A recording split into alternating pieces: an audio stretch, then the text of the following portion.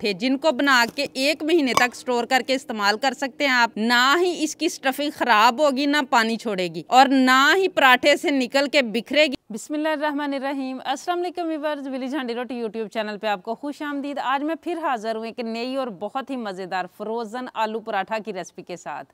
इस रेसिपी को एक मरतबा बना के आप रख लें। पूरा महीना इस्तेमाल करें, ना तो आलू ख़राब होंगे और ना ही आपके पराठे ख़राब होंगे। बिल्कुल फ्रेश बन के तैयार होंगे। तो वीडियो के एंड तक देखिएगा, बिना स्किप किए, ताकि पूरी रेसिपी को फॉलो करते हुए आप मुझसे भी ज़्यादा बेहतरीन ये पराठे घर पे तैयार कर सकें। लाइक और शेयर ज़रूर कीजिएगा। चैनल पे नहीं हैं तो सब्सक्राइब कर लें। तो चलिए चलते हैं, ये मज़ेदार सी रेसिपी बनाना शुरू करते हैं। ये मज़ेदार से आलू के पराठे बनाने के लिए सबसे पहले यहाँ पे डेढ़ कप मयरिंग कप के साथ मैंने मैदा लिया और डेढ़ कप मैंने गंदम का आटा लिया है। आप जो भी आटा घर में इस्तेमाल करते हैं रोटी पकाने के लिए, वही आप ले सकते हैं। अब यहाँ पे मैं नमक शामिल करूँगी, चौथाई टीस्पून मैंने लिया, आप अपने टेस्ट के हिसाब से ले सकते हैं। और यहाँ पे मेरे पास है अजवाइन, ये भी मैंने चौथाई टीस्पून ली है। अजवाइन अगर आप शामिल करेंगे तो इससे हाजमा भी दुरुस्त होता है। और हम स्टोर करने वाले हैं आलू वाले पराठे को तो वो हमारे पराठे जो है ना, आलू वाले, वो ख़राब भी नहीं होंगे। और अब इन सारी चीज़ों को अच्छी तरह से मिक्स करके हमने रूम टेम्परेचर पे पानी है जो डाल के तो आटा गूंद लेना है, जिस तरह भी आप घर पे रोटी बनाने के लिए गूंदते हैं।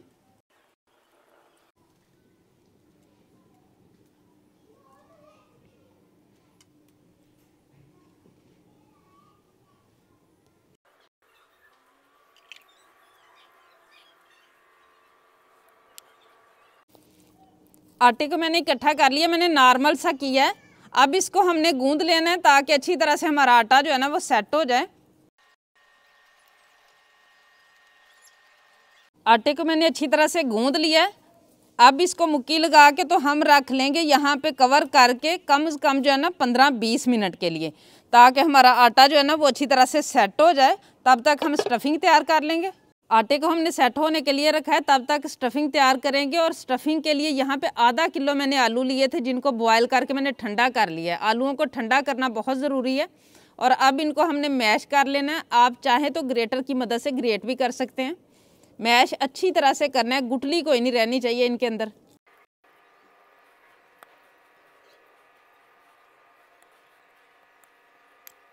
आलूओं को मैंने अच्छी तरह से मैश कर लिया है।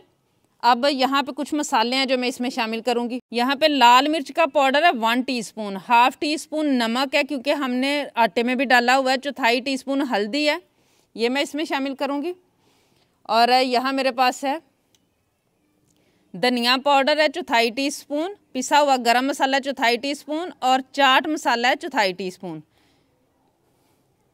और अब यहाँ पे बहुत ही ख़ास चीज़ बुने हुए जो चने होते हैं ना, उनका पाउडर लिया है मैंने। ये मैंने डेढ़ टेबल स्पून लिया। आप चाहे तो बेसन को रोस्ट करके भी डाल सकते हैं। इसका फ्लेवर नहीं आएगा इस पराठे में।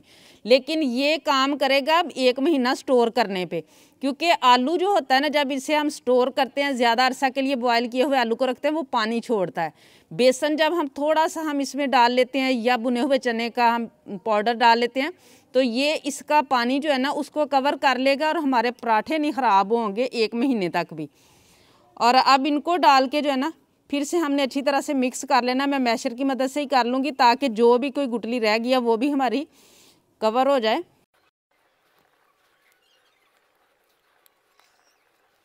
ये मैंने अच्छी तरह से सारी चीज़ें मिक्स कर ली हैं। अब मैशर को मैं साइड पे करूँगी और कुछ और मैं इसमें शामिल करूँगी और हाथों की मदद से हम इसे मिक्स कर लेंगे। यहाँ पे मेरे पास है सब्ज़ धनिया, दो टेबल स्पून है, ये डाल के मैं हाथों की मदद से अच्छी तरह से मिक्स करूँगी। और स्टफिंग हमारी जो है ना, वो माशाल्लाह मज़ेदार सी रेडी हो चुकी है।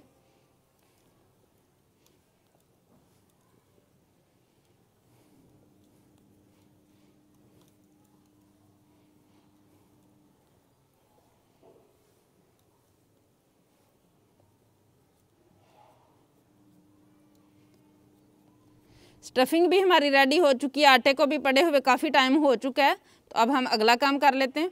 आटे को पड़े हुए 20 मिनट हो चुके हैं। अब पेड़े बनाना शुरू करेंगे। पेड़े बना के मैं इधर ही एक जगह पे रखती जाऊँगी। बाद में हम ऊपर से कवर कर देंगे। पेड़े सभी हो चुके हैं। अब एक पेड़ा लेके इसको मैं बेलना शुरू करूँगी। जैसे हम रोटी पकाते हैं, वैसी ही हमने बेल लेनी है एक रोटी। रोटी को मैंने थोड़ा सा लंबाई में बेला है, और कितना पतला बेला है ये आप देख सकते हैं। जितनी हम रोटी पकाते हैं ना, उससे ज़्यादा पतला है। अब इसके ऊपर हल्का सा कुकिंग ऑयल लगा लेना कुकिंग ऑयल लगाने के बाद जो आलू का मटेरियल हमने बना के रखा है, वो इसके ऊपर लगाना है।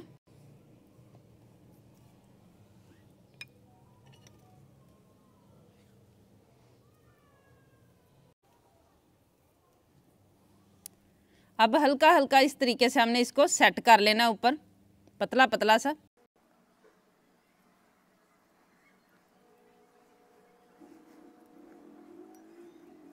अगर आलू चिपके तो आपने पानी या कुकिंग ऑयल लगा लेना चम्मच को। स्टफिंग को मैंने अच्छी तरह से सेट कर लिया। अब इसके ऊपर हल्का सा मैदा डस्ट कर लेना इस तरीके से। और इसको जो है ना, इसकी एक साइड पकड़ के हमने इस साइड पे ले जानी है। इस तरीके से। थोड़ा सा हल्का सा हाथ से प्रेस कर लेना है। अब इस साइड से पकड़ के तो हमने इधर ले आना है। और अब इसका हमने रोल बनाना है थोड़ा सा टाइट करके।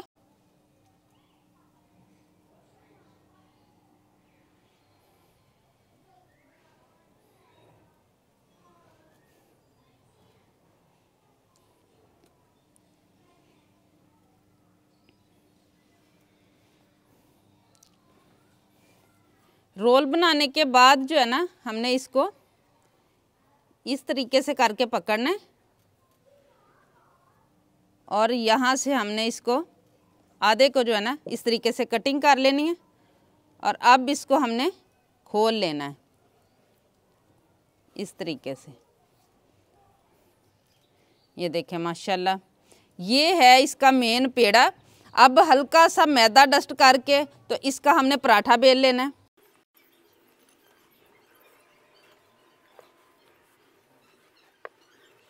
और देखें माशाल्लाह कितनी ज़बरदस्त उसकी लेयर बन गई है। और अब इस पॉइंट पे पराठा जो है ना, वो रोटी से थोड़ा सा हम मोटा ही बेलेंगे, क्योंकि पहले हमने इतनी पतली इसकी रोटी बेली हुई है कि ये आप देख सकते हैं स्टफिंग नज़र आ रही है उसकी पट्टी के अंदर से। इतनी पतली हमने बेली हुई है। इसलिए आपकी जो रोटी है ना, वो पतली नहीं रहेगी।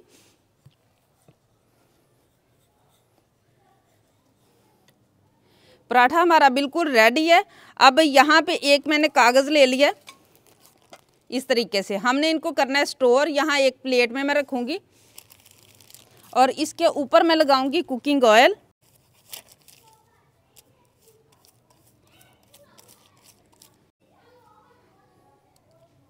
और पराठे के ऊपर दोबारा से हमने हल्का सा कुकिंग ऑयल लगा देना, फिर हमने दूसरा शापर रखना है।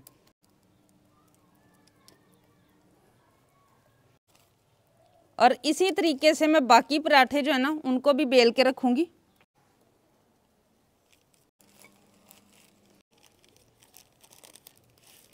माशाल्लाह, जितना मैंने आलू का मटेरियल लिया था ना, उस मटेरियल में मेरे पाँच पराठे बन के तैयार हो गए हैं।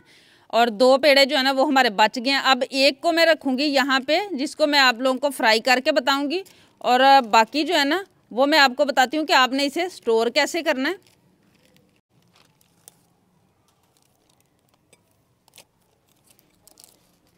इनको स्टोर करने के लिए जो है ना, वो हमने इस तरीके से कोई भी शॉपर ले लेना है। उसके अंदर सीधे सीधे रखने हैं। वैसे आप किसी भी बंद ढक्कन वाले डिब्बे में भी रख सकते हैं। डाल के तो फ्रीज़र में रख लें। जब भी आपने इनको फ्राई करना हो तो आपने इनको जो है ना 20-25 मिनट पहले निकालना है और इनको फ्राई कर लेना है। कुछ भी नहीं होगा, ना आपस में चिपकेंगे और ना ही ख़राब होंगे। और जो चीज़ हमने डाली है ना, इसके मटीरियल में डेढ़ टेबल स्पून उसकी वजह से आलू पानी भी नहीं छोड़ेंगे इन और आलू ख़राब भी नहीं होंगे।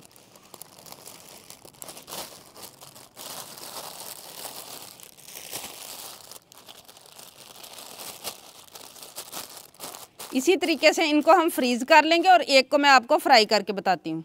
अब यहाँ पे तवे को मैंने गर्म होने के लिए रखा है। तवे को हमने मीडियम आग पे गर्म कर लेना है। एक साइड से थोड़ी देर में पकने देंगे, उसके बाद साइड चेंज करेंगे और बिल्कुल उसी तरह पका लेना, जैसे हम आम घर में पराठे पकाते हैं। इसी एक साइड से पकते हुए चंद सेकंड हो चुके हैं, अब इसकी हम साइड चेंज करेंगे।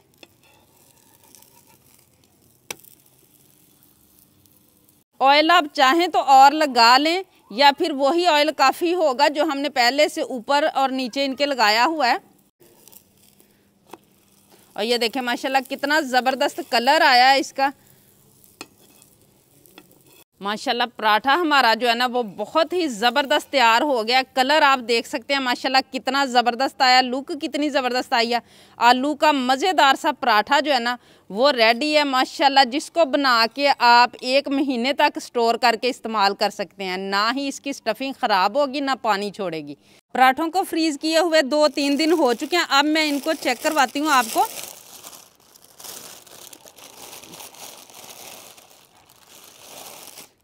ये देखें, माशाल्लाह।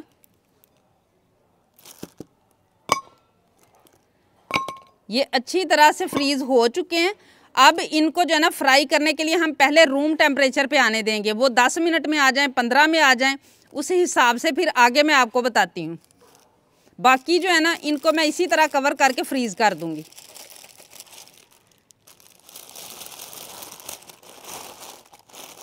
पराठा हमारा रूम टेम्परेचर पे आ चुका है। अब हाथों की मदद से हल्का सा जो है ना, वो इस तरीके से मैंने इसे मज़ीद पतला कर लिया है। पहले ही स्टेप में अगर हम बहुत ज़्यादा पतला कर लेते तो ये बिखर सकता था। इसलिए इस पॉइंट पे करना है। ये देखें, जितनी आप रोटी बेलते हैं ना, उतना ही मोटा है।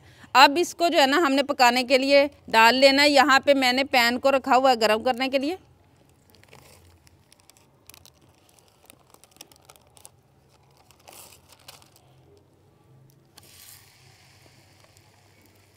एक साइड जब अच्छी तरह से पक जाएगी, फिर हम दूसरी साइड पे कर लेंगे। एक साइड जो है ना, वो थोड़ी देर पक चुकी है। अब इसकी हम साइड चेंज करेंगे।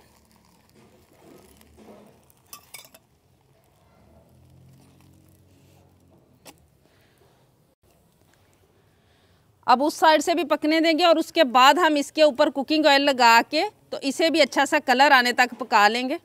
माशाल्लाह, हमारे पराठे पे दोनों इतराफ पे बहुत ही ज़बरदस्त कलर आ चुका है। ये देखें, माशाल्लाह, दूसरी साइड से भी आपने देख लिया। मज़ेदार सा हमारा आलू का फ्रोज़न पराठा जो है ना, वो बन के तैयार हो चुका है, माशाल्लाह। और ना तो आप देख सकते हैं, इसकी स्टफिंग बिखरी है, ना ही बाहर निकली है। इसको हमने फ्रोज़न किया था, उसके बावजूद, माशाल्लाह, ज़बरदस्त हमारा आलू का पराठा बन के तैयार है। माशाल्लाह रेडी है हमारे बहुत ही मज़ेदार फ्रोज़न आलू के पराठे, जिनको बना के एक महीने तक स्टोर करके इस्तेमाल कर सकते हैं आप। ना ही इसकी स्टफिंग ख़राब होगी, ना पानी छोड़ेगी। और ना ही पराठे से निकल के बिखरेगी देखें कितनी ज़बरदस्त माशाल्लाह लुक आई है।